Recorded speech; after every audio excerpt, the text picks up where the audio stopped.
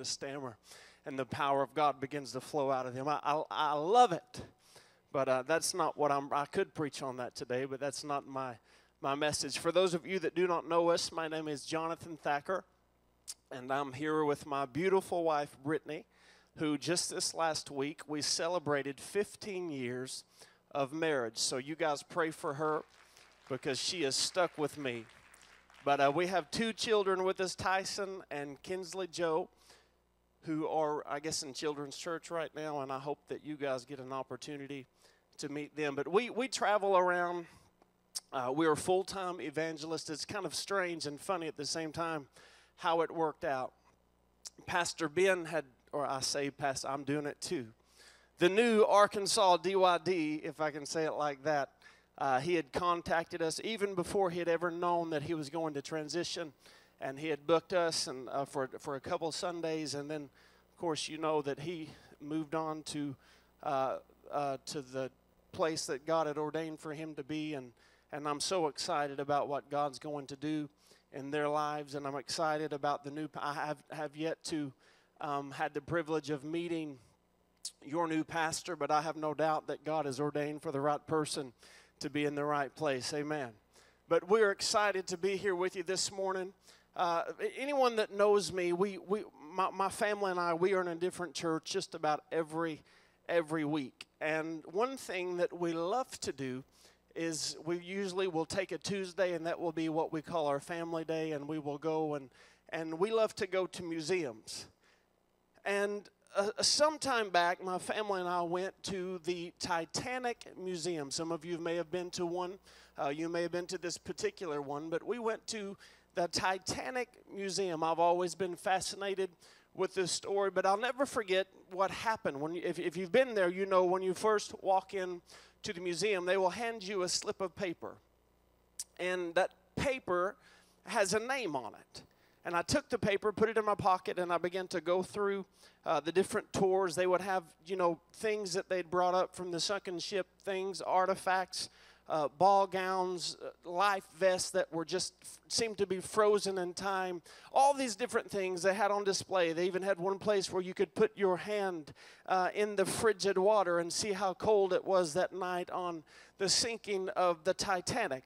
But I've since been so uh, fascinated with this story that I've gone back and I began to dig a little bit deeper and I've begun to discover there's a lot of things that we don't know about the sinking of the Titanic. We know the Titanic today is the ship, the largest ship that set sail that had been sunk. But did you know that prior to the sailing that of the Titanic, that the Titanic was already a world-renowned ship? We know it today for its sinking, but even years before the Titanic had ever set sail, people were already talking about the ship, the safest ship to have ever been built, the ship that was said to be the fastest ship in the world, the largest, most luxurious ship in the world. At that time, in that moment in the early 1900s, the Titanic was a sense of man's accomplishment there was a great sense of pride and there was a great sense of look how far that we have come. Look what mankind to do. Look what the knowledge and the wisdom of man can accomplish. There was a spirit or a sense of man trusting in their own strength and not in the lord's. There was a spirit if you will of we don't need god anymore. We've evolved. Now you'll not see that heading on the newspaper of the day, but that spirit was there. One man even had the boldness to say that God Himself cannot sink this ship. After all, the ship had been built by the greatest minds of the times, the greatest architects, the greatest engineers that money could buy. But ironically, on the ship's very first voyage, that which the world said was impossible happened. And the Titanic became a display to the world that just maybe we need God after all. In today's world, you don't have to look very far to see that very same spirit is there. That spirit of that spirit of pride, that spirit of we've got knowledge, we've got wisdom, we've got all these advances and, and science and in technology. Why do we need church?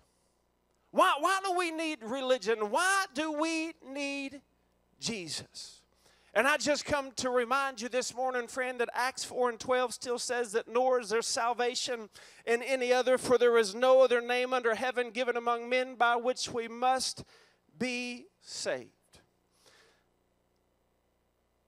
The stirring in my spirit today is I, I shared with you that we visit a lot of churches. But I've found that there's a lot of people that go to church but are not in church. I found there's a lot of people that go to church, they get their ticket punched, they, they go through the motions, they do all they see. We can't get to heaven by church attendance. We can't get to, to heaven by singing songs or going through the motions. There is only one way to heaven, and that is Jesus Christ. You were singing just a moment ago about uh, about Him being my Savior, and the thought went through my mind of of you know there's a lot of things. He's my strong tower. He's my defense. He's my He's all of these. Has He's my King. He has all of these titles, but the greatest thing is He is my Savior. He left everything. He left heaven. He left angels. He left everything in that world to come to this world so that you and I can have an opportunity to be saved.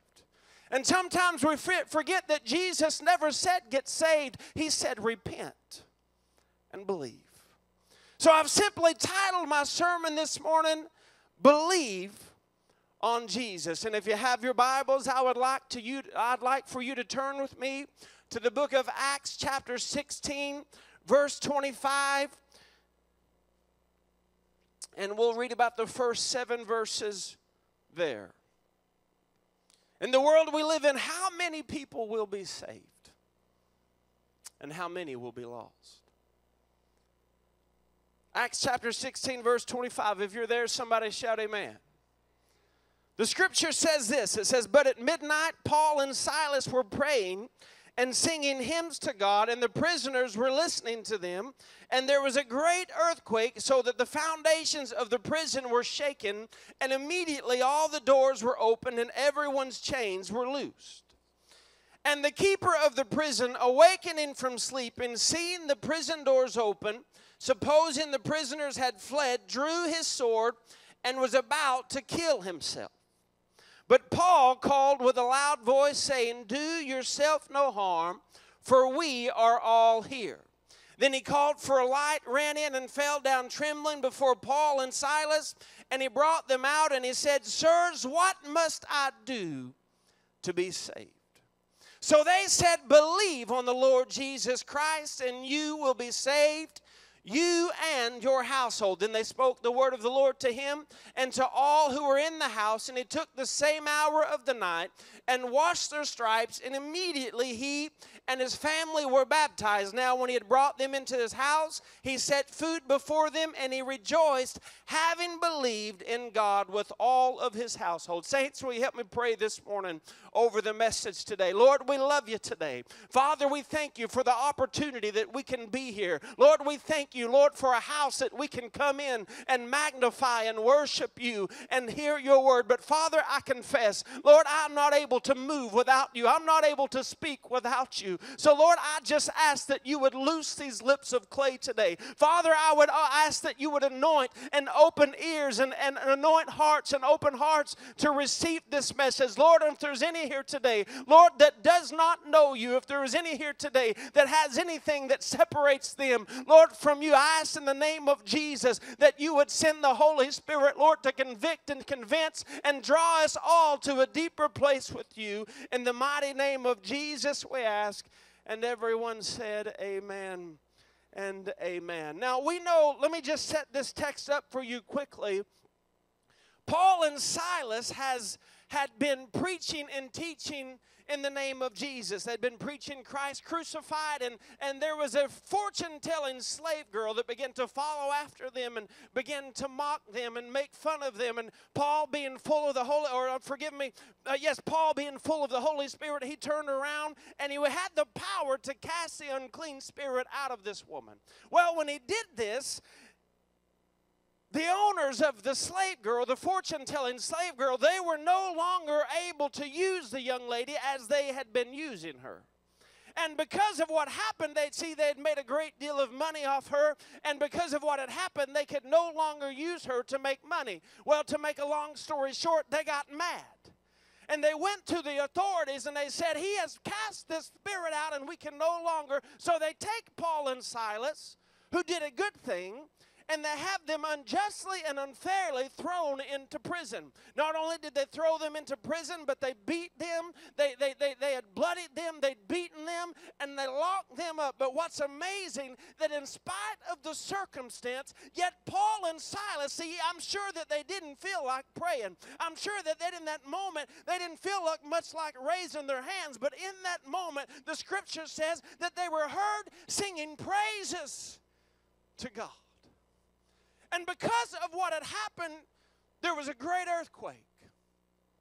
Now, I want you to understand that this earthquake that shook the prison was not a natural phenomenon. See, oftentimes in Scripture, you'll see the hand of God move by way of a great earthquake. The doors literally had shaken so hard that not just one or two shackles fell off, not just one or two doors had opened, but each and every door had opened and every shackle had fallen off. Verse 27 says, And the keeper of the prison awakened. You see, God does not always manifest himself in a still small voice. There are times when he makes himself known in other forms. How many times have we seen the, the hand of God move to shake the people out of a spiritual slumber? Sometimes we go through things that this flesh really doesn't want to go through, but in the end of it, uh, God has good that will come out of it. Why does He shake us? Why does sometimes He put things in our path? And the reason is the same today that every soul might be saved. That's God's desire for every one of us. Not just to go to church, not just to go through the motions, not to have a perception by the world to be seen as good or holy, but to have the perception of God to look down upon us and see us as separate. 2 Peter 3 and 9 says that the Lord is not slack concerning his promises. Some count slackness, but is long suffering toward us that not any should perish. The deep truth of the matter is, it was not a physical sleep that the jailer was awakened from, but a spiritual one. In that moment, that jailer had an awakening. In that moment, that jailer was aroused from a guilty and a dead conscience, and he knew inside that he was guilty, that he was bound in sin, and he needed this Jesus that Paul and Silas had been singing about. He knew in that moment that he needed something more, and he comes tumbling out of the darkness and he said, Sir, what must I do to be saved? And Paul and Silas called out into the darkness Believe on the Lord Jesus Christ, and you will be saved, you and your household. Now, I want to be clear that believing on Jesus is not the same as simply believing in his existence. Because scripture tells us that the, even the demons and Lucifer himself believe that Jesus Christ died and rose from the dead. See, we obtain this gift of salvation by believing. But Jesus, even in the book of Mark, he said, he said to repent and believe. There's a, there's a two part, listen, we, we can't just come to an altar and say, God, forgive me, and I feel bad about what I've done, and I forget, and sometimes we say, I feel bad about what I'm going to do tomorrow, so I just lay this at your feet. Jesus said, repent. Now, I'm going to be honest with you. We've seen it cheapened.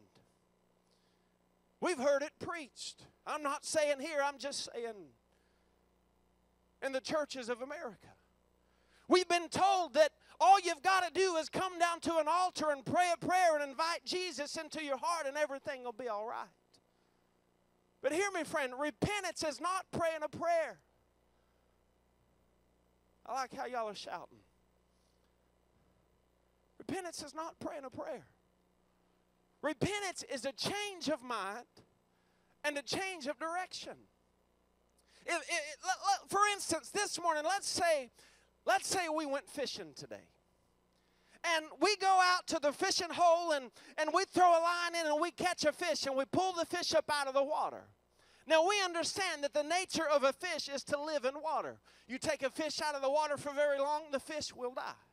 And if you take the fish out of the water and throw him up onto the bank, he may survive for a little while, but if you leave him on the bank, he's going to die. And so it is with us. If we, we go swimming and, and you hold my head down under the water long enough, eventually this old boy is going to quit kicking. Because my nature is not to breathe under the water. Are you with me? And so it is with sin. No, I'm not saying Jesus never said go and be perfect and never fall short. We'll never make that mark. But he said to put our eyes on that mark. We, we should have a frame of mind that I'm never going to mess up. I'm never going to I'm never going to be pulled out of the water and thrown into the bank. But we understand that it will happen. And what happens is one day you'll be walking along and, and something will pull you out and you'll be up on the bank and see what it is. Will you have an awareness? I can't be here. I can't stay here because I understand if I stay on this bank, I will die. And then we get put back into the water. But oftentimes, I see people that live on the bank. Grace covers everything, so I can stay here. Hear me, friend. You can't stay here. If you've got something that separates you from God, if you've got something in your life that the Spirit is convicting you about and drawing you away from, you can't just say, God, forgive me. You've got to turn away from those things. And when the Spirit speaks and we push Him away, that's not repentance, friend, that is rebellion.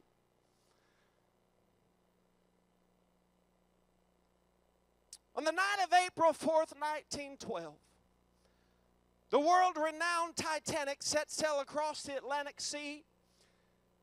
It was said that it was a magnificent 46,000 tons of steel. It was 11 stories high, and it was the largest cruise liner to have ever been built. To stand on the deck that night, one passenger said that it gave her such a sense of wonderful security. But at 11:40 p.m., the greatest maritime disaster in history took place and the great Titanic, the White Star, the pride of the White Star Fleet, collided with an iceberg and grinded to a halt, and in less than 10 seconds, a 300 foot gas was torn down the belly of the boat. There were some 2,340 people on board, of which 705 were saved, and the other 1,635 souls were lost at sea. It was the first time that the ship had ever set sailed and it had worldwide publicity. It was dubbed not only as the world's largest and the most luxurious ship, but also as the safest ship to have ever set sail. People from all walks of life walked calmly and collectively, bought their ticket to be one of the first to make history, to be one of the first to set sail on what was sold to them as the safest ship in the world. Many people that morning had no idea that that day would be their last day. And friends, so it is with us today. Death comes unexpectedly. There are many people today that will not that will leave their homes and they will not arrive home. Even just this last week in my hometown, a man was walking through his yard and he was struck by lightning. We understand that no one sees it coming, but every person in the building one day we will stand before God. And the scripture says, as the tree falls, so it lies. The Titanic was a picture of luxury. It had tennis courts, it had ballrooms, it had everything that we could imagine. Many things that the ships of today have. We've seen them. We've seen the luxury. We've seen the, the rock climbing walls. We've seen all of this stuff that are on board many of the ships today. But in this day, it was the very first of its kind.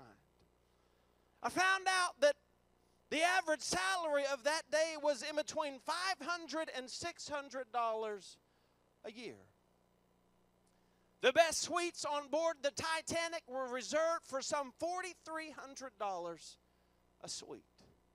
Only $2,300 if you wanted a suite with outside the outside walkways. I don't know about you, but that's a lot of money in the early 1900s. That's a lot of money now. Amen. The most expensive ship in the world. It had everything but it did not have enough lifeboats. But after all, it was the unsinkable ship. After all, it was impossible, it could never happen. It was the largest ship to have ever been built. It's 11 stories tall, three or four city blocks long.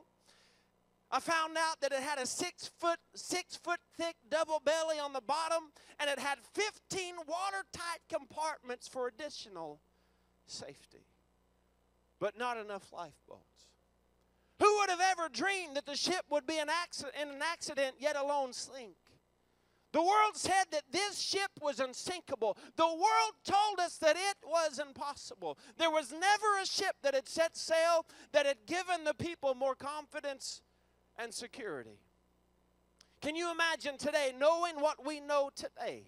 If we could somehow travel back in time and warn the people as they all begin to as they all began to walk upon the board of the Titanic as they traveled across that corridor and if you could be standing there to warn them don't get on the ship. We know the future. We know what's coming. Don't take another step. How many people would listen to the warning? How many souls that day would be saved? And how many would be lost found out that there was a total of 20 lifeboats on the ship that would hold a maximum of 58 people. So that means if, if every lifeboat had been filled to capacity, that out of the 2,340 people, it was possible for only 1,160 be, 60 to be saved. The, the crew in this moment, they were completely untrained for an emergency response. If you get on a ship today, they've been trained on what to do in case there was an emergency. But in this day, they did not know what to do. I found out that many on that day there was no muster drill. Many of them, the, even the, the, lifeboats themselves, they had no provision. They had no sails. They, they had no water. They had no compass. Even many of those lifeboats, the plugs had been pulled out of the bottoms of the boats. How many people will stand before one God, before God one day without the proper provision? How many people will stand before God and they'll point to their church attendance? They'll point to their tithe record. They'll point to their good deeds of all of these different things that may be in the eyes of man that they are good. But friend, hear me, friend. They, when at the hour of judgment, when we stand before God, we must have Jesus. It's not just going to church and getting your ticket punched. It's a relationship. It's believing, yes, that Jesus died and he rose, but we must have repentance in our lives.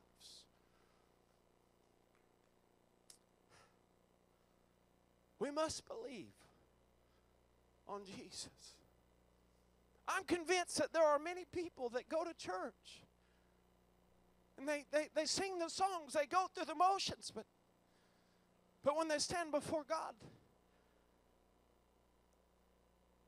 found out that there were three warnings that were sent from the crow's nest to the officer on the bridge just 15 minutes before the Titanic had struck.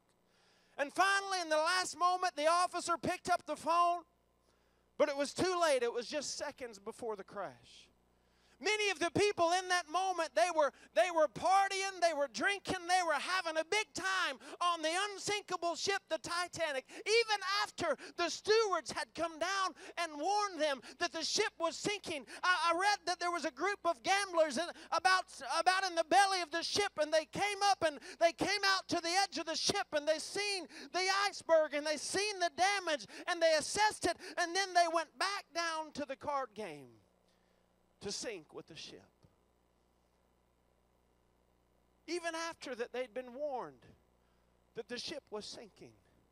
Even after they had been told time and time again to get onto the lifeboat, many people that night went on to bed in full confidence of the Titanic's ability to stay afloat.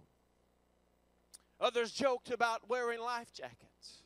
They said, Why should we put the life jacket on? Why should we go and, and get out into your little, your little vessel? We all know that you're just going to take us out for a few hours. We all understand that this is procedure. This ship will never sink.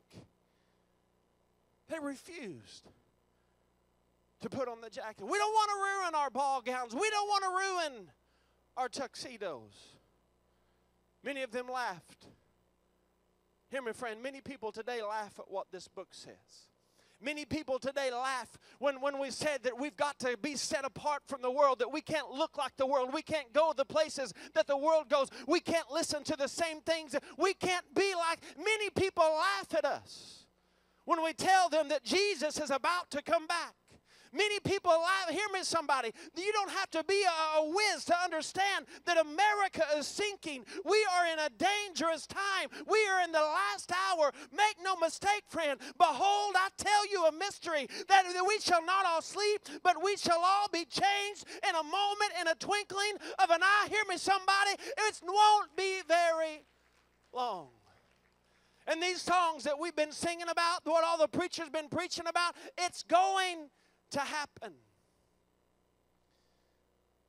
Do you know what some of them did? Let me tell you, the movie doesn't tell you much. Some of them, one lady was seen, eyewitness account, as she went and to the iceberg and she chipped off a piece of ice, a rather large piece of ice, and she's carrying it back to her stateroom. A lady from aboard the lifeboat was heard calling to her, Ma'am, what are you doing with that ice? Where are you going? She said, Oh, I'm taking it back to my stateroom. She said, When we get to New York, I've got a lot of friends that I want to show this to. Little did she know that that ship had gone as far as it was going to go. Many of the people could have been saved. Had they got onto the lifeboats, I read that lifeboat, uh, they had a capacity of 58, a capacity of nearly 60 people. Yet the very first boats that began to be pulled away with 10 people and 12 people and 15 people. Empty seats as the boats were going away, not because there was not enough room for them, but because they really did not believe that the ship was sinking. Many people today would take Jesus as their Savior if they really believed that Jesus was about to come back. Every seat in this building would be full this morning if people believed that by tonight's end, Jesus could come back, that the trumpet could sound, and we could be raptured out of this place many people would come if they truly believed that there was a heaven to gain and a hell to shun. But the reason that so many people are out in the other things of the world is that they may proclaim Christianity. They may, they may say, Oh, I believe, I believe. But the truth is, if they really believed, it would live like the book says. I believe that in, in Christian America, in American Christianity, many of us are deceived. We look at other people and we say, well, you know, brother so and so, they did this and, and I'm better than them. Sister such and such, you know, I know she goes down to the bar and I, I'm better than. See, there's a reason why Jesus said not for us to compare ourselves with each other.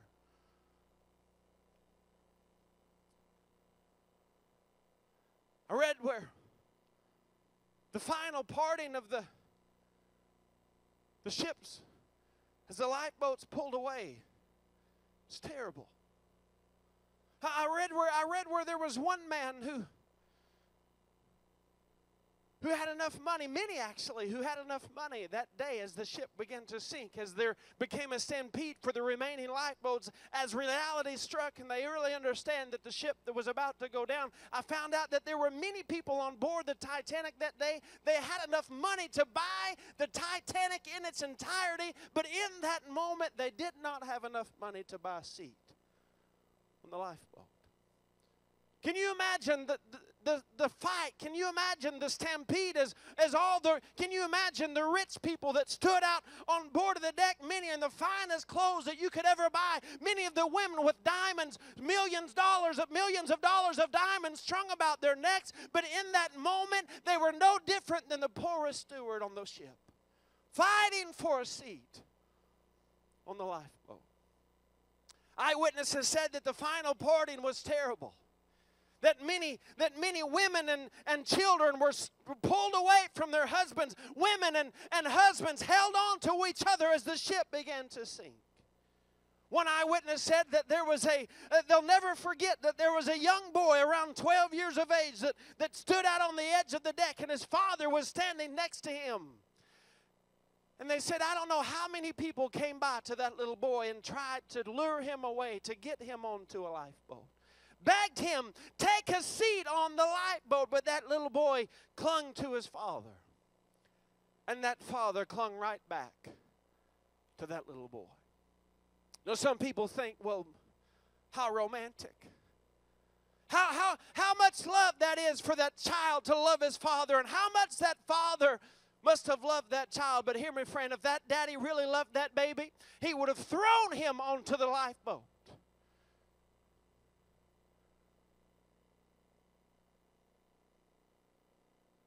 Mamas and daddies, hear me.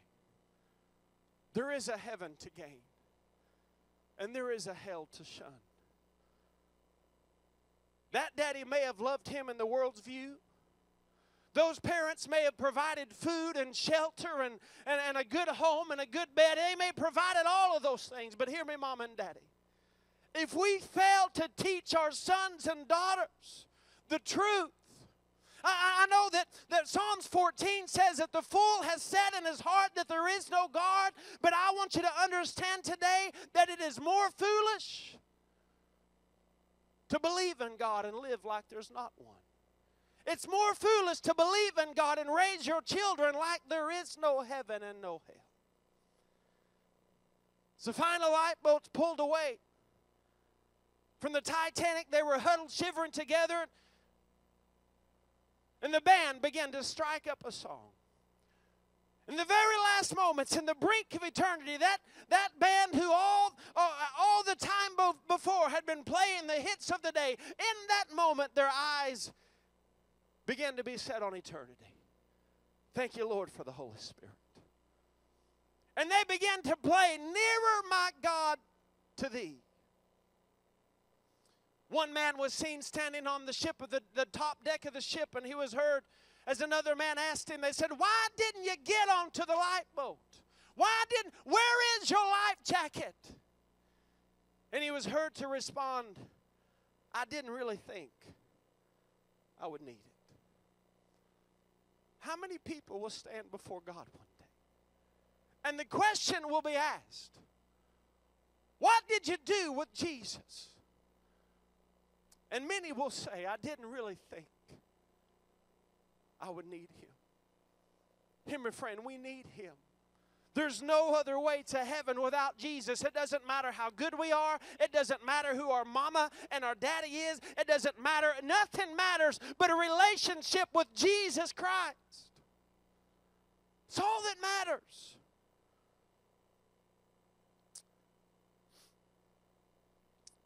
Did you know that at the sinking of the Titanic, there was another ship less than 10 miles away? Later, there was an investigational hearing where the captain of that ship was asked, Being so close, why didn't you come to the rescue? Being so close, why didn't you offer some type of assistance? And the captain said, Well, at midnight we had turned our radios and went to, off and we went to bed.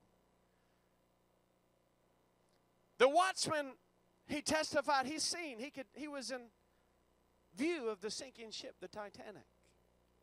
And he said, as deck by deck began to go beneath the waters, he said he knew it was the Titanic, and as the lights began to go out, he said that I, I thought that the Titanic being faster than we, that she was just sailing off into the distance. How many people are within 10 miles of us. How many people, maybe even in this building, we've got to have Jesus. We've got to tell people about, I know it's not popular. I know it's not easy to be a Christian, and it's certainly not easy to tell people when they mock you. But this gospel is true. Jesus is about to come back. Well, preacher, I've been hearing that my whole life. And when it happens, friend, God will say to you, sir or ma'am, Did I not give you enough warning? Did I not send enough preachers? Did I not send enough of the gospel? Did the Holy Spirit not draw you enough? But it's our choice to receive Him or to reject Him. Can I have a musician just come and begin to play for me? As we're about to move into the altars. There was a man by the name of John Harper. John Harper was a, a famous evangelist preacher of the times, if you will, and he boarded the Titanic with his daughter. When the ship began to sink, him being a widower would have had the opportunity to put his child, and him being a widower, he could have gotten onto the ship, the boat with her because there were so many boats leaving with 10 and 12 and 15. There were so many empty seats, he could have got onto that boat. But he put his little girl onto the boat and stayed behind. He said there's thousands of people on this on this ship that are about to meet their maker. And he stayed behind to give the masses one last opportunity to receive the gospel. Harper was seen running from lifeboat to lifeboat, shouting, Believe on the Lord Jesus Christ. Believe on the Lord Jesus Christ. Believe on the Lord Jesus Christ.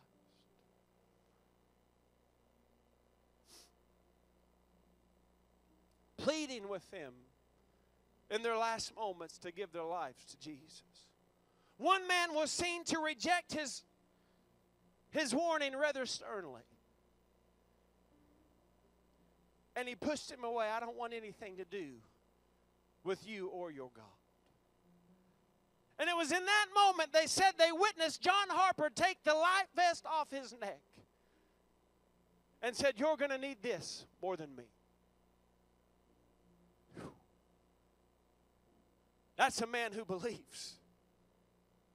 That's a man who believes that there's a heaven to gate and a hell to shut. To the last moments, he was seen pleading with the people to give their lives to Jesus. Not just to pray a little prayer, not just to go through the motions, but to truly accept Him as Lord and Savior. See, everybody wants Jesus to be their Savior, but not everybody wants Him to be their Lord.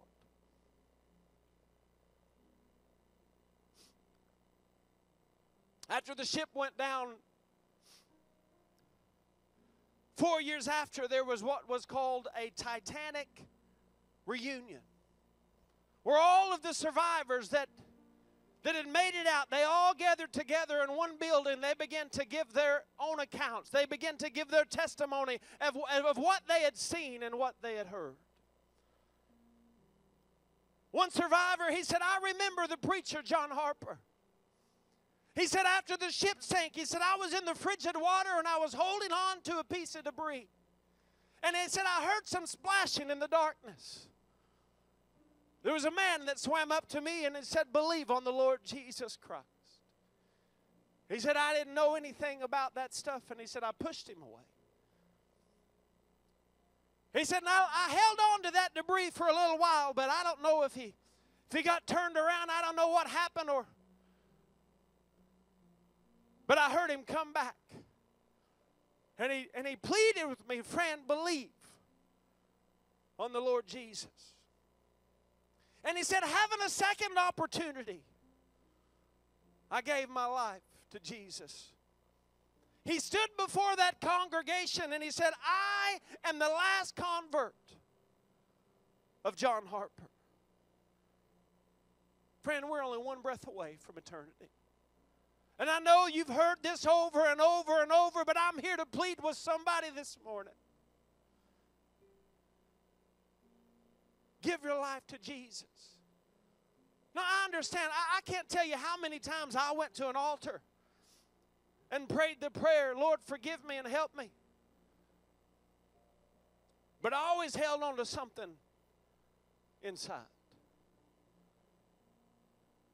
You've got things in your life today that Listen, it's not my words that's convicting you, friend. That's the Holy Spirit. And if you've got anything that separates you from Him, I'm here to plead with you today. Give it all to Him. I've never seen a man or a woman follow Jesus and live to regret it. There are many of us, not just in the church, in the world, we need to be shaken. See, sometimes we forget when, when Paul and Silas, when they ministered to the jailer, he didn't just pray a prayer. He who had previously beat them, now he washed their stripes. And he set food on the table. There was an action. There, that's what repentance is. It's not just praying a prayer. It's turning away from the old man, turning away from the things of the world. The scripture says, if a man be a new creation, if you're not a new creation, it's because you don't really know Him.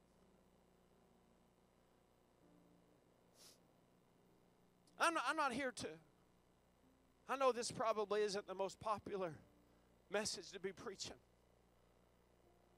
but I, I'm on a mission. You're here and you've got things in your life. I don't care who you are, I don't care what it is. I'm not. It's between you and God.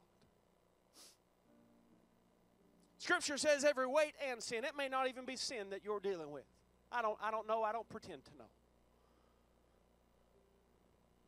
But if you've got some things in your life that the Spirit is drawing you this morning, in just a moment, I'm going to ask you to come and we're going to pray together. This church is going to pray with you. Jesus said, Let my house be a house. Well, preacher, what if people laugh at me? Let them laugh. Somebody laughs at you, they need to be down here with you. I believe in public profession. Jesus openly carried the cross down Calvary. The least that we can do is take a few steps in a congregation of people that aren't going to, nobody's going to attack you. We're here to cheer you on. Scripture says when a man comes to repentance, that the angels in heaven rejoice. I believe this church will rejoice with you. You've got if maybe you've never met Jesus, maybe you've never really prayed that prayer, maybe you've never meant it, maybe you've never repented. See, John the Baptist preached repent. Jesus preached repent. All of the disciples said repent. And if you've got something that's separate, listen, I've made up my mind. I don't care if I had to pray every Sunday, Monday, Tuesday. I may listen, I don't care if I got to get up two hours early every day of my life. I'm going to heaven. There's nothing in this world that's going to keep me out. But if you've got anything, I, this preacher wants to pray with you.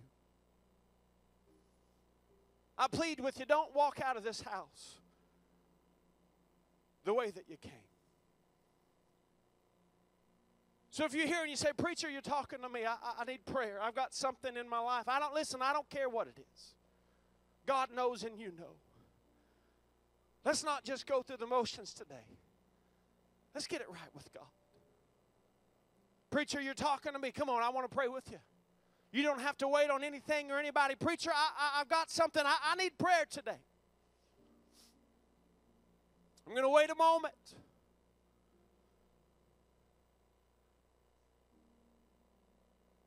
Come on, church, begin to pray.